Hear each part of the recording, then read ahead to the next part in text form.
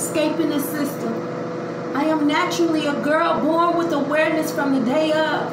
Exiting my mother's womb, my eyes stared across the room like I wanted to see what they say and what they say while the other babies cry until the doctor leave the room, a personality unique within the feeling of my presence.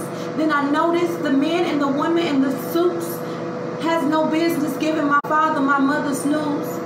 It isn't typical if my first steps is to forget the shit even with clues, but I will put on my crown and forget I ever did lose because I hear it's natural.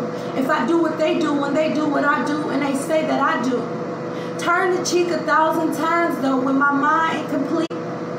Just to fill the void and forgive the damages that was hidden deep. Rest in peace, angry black woman scene.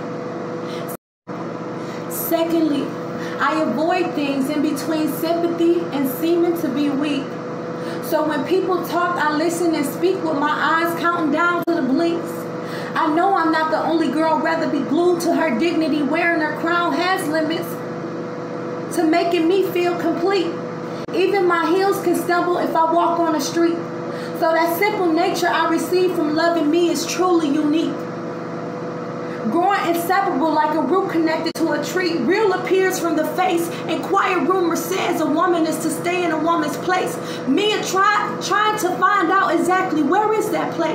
My skin threaded so neat isn't on purpose to escape the barriers life lay aside me. To become so much more than anybody labels me. The system of hate and what I never was. Me.